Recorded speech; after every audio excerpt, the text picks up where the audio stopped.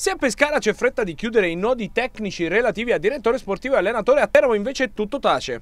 Nel senso che le questioni di rimenti, PEF e stadio, sembrano essere preponderanti rispetto ad un organico allo stato attuale solo ipotetico, con giocatori in scadenza tra 20 giorni, un allenatore che non c'è e un direttore sportivo che non si sa se sarà riconfermato o meno. Il tutto a pochi giorni dalle scadenze relative ai versamenti per la stagione in corso e per quella che verrà. Iachini sembra aver glissato l'argomento futuro calcistico perché in questo frangente, con una trattativa in ballo, non sembra volersi sbilanciare sul fatto che stagione 21-22 sarà lui il prossimo proprietario della squadra. Insomma, incassato l'ok per il piano economico-finanziario, la sensazione è che il massimo dirigente ora voglia accelerare per la chiusura con il gruppo romano e cedere se non tutto quasi il Teramo. Il problema, come detto nei giorni scorsi, sono le cifre dell'eventuale passaggio di quote societarie.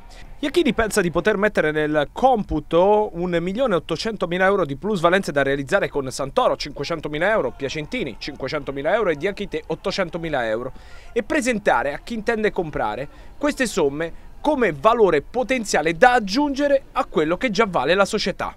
Dalla parte opposta la risposta è stata chiara. Quello che vale il Teramo in questo momento non può essere valutato sulla base di cessioni ancora tutte da perfezionare. E poi, nel caso, a che cifre? Perché non è detto che se e quando questi giocatori andranno in altri lidi, a proposito, il Pisa nega contatti con Piacentini, non è detto che lo faranno a queste cifre che il diavolo ha in mente.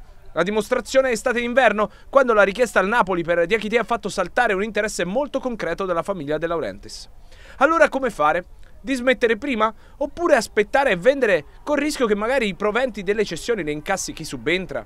Il futuro è dietro l'angolo, il 28 si avvicina e il milione oltre di spese per Iachini è prossimo alla deadline. Poi ci sarà la questione fideiussione, che come asserito in più di una circostanza fa parte delle pratiche per un'iscrizione mai messa in dubbio dal massimo dirigente, che in realtà pare aspirare ad essere solo gestore dell'impianto, lasciando a qualcun altro la questione calcio.